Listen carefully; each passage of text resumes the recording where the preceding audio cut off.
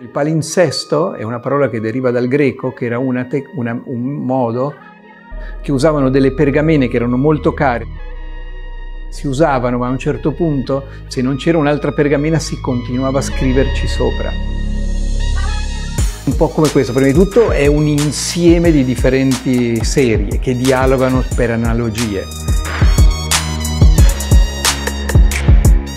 E le fotografie proposte hanno spesso questa idea di, del tempo che passa, di cose che si sono scritte sopra a, ad altro.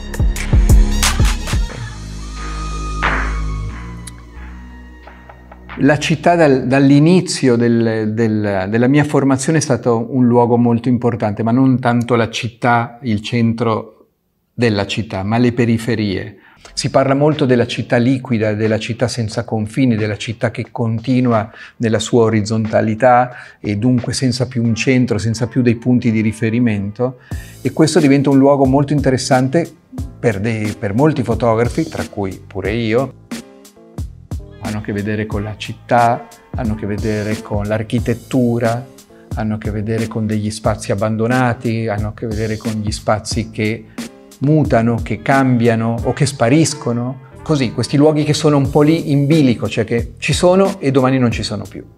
In più mi danno anche appunto la possibilità di lavorare eh, sulla memoria del luogo, su quello che è successo nel luogo, sulla stratificazione di segni, di famiglie che hanno lasciato delle cose, eh, che hanno cambiato la pittura, la carta da parati e dunque mi dà molte opzioni per poi costruire mio, la, le, mie fotografie.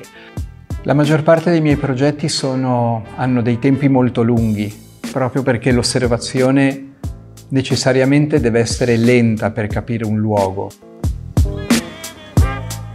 Spesso la fotografia è l'ultimo gesto, la macchina fotografica appare come ultima istanza. Spesso sono dei luoghi poco facili da frequentare. Le periferie urbane, per esempio, sono a volte dei luoghi di conflitti sociali e dunque eh, ci vuole anche tutto un aspetto di coinvolgimento sociale anche. Io ho sviluppato diversi progetti appunto in ambito urbano, ma che poi sono diventati dei progetti anche di azione sociale, approfittando della fotografia e dell'arte come un, un metodo per cercare di di nuovo, di salvarsi. Per me la fotografia è stata un'ancora di salvataggio quando ero molto giovane.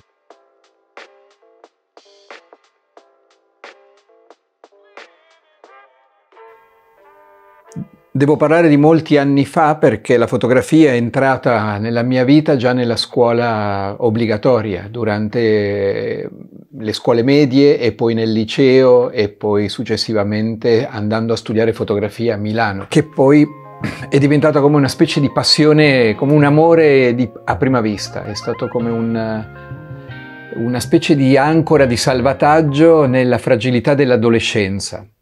Eh, ho iniziato molto presto a frequentare uno studio di fotografia e lavorare con un maestro e, e dunque sviluppare da subito la fotografia come lavoro, come lavoro pratico la fotografia come pubblicità, non come arte, la fotografia applicata.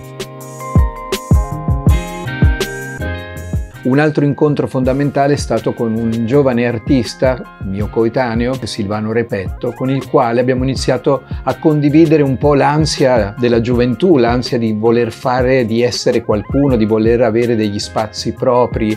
E dunque abbiamo creato una, un, una specie di collettivo che si chiama Minelli e Repetto e abbiamo iniziato a, lavorare più nell'ambito dell'arte, che per me era una cosa totalmente nuova. Però grazie a questo incontro e poi successivamente ad altri grandi maestri, maestri mi sono avvicinato di più alla fotografia come un'espressione personale, la fotografia come una possibilità di una ricerca personale, la ricerca come artista, non solo rispondere a una necessità di un cliente.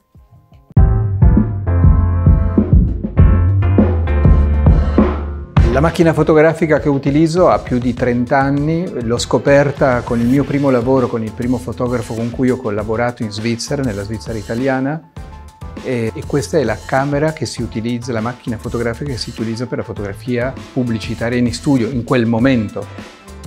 Il fatto di continuare a lavorare con la macchina fotografica di grosso formato, una, una, macchina fotografica analogica, è quasi un gesto di resistenza, di resistenza contro la proliferazione e la banalizzazione delle immagini. La fotografia di solito uno la intende come la, la reflex, piccolo formato, veloce, per fare appunto reportage, per fare appunto scatti istantanei. Questo non ha nulla di istantaneo. So che per quella giornata di lavoro ho 12 scatti, 12 fotografie e dunque diventa anche un, un, um, un, modo di osservare, di transitare, di attraversare il territorio molto più lento, molto più contemplativo. Ho fatto delle fotografie dove l'esposizione è durata un'ora. Eh, il, il problema è cosa fai durante quell'ora.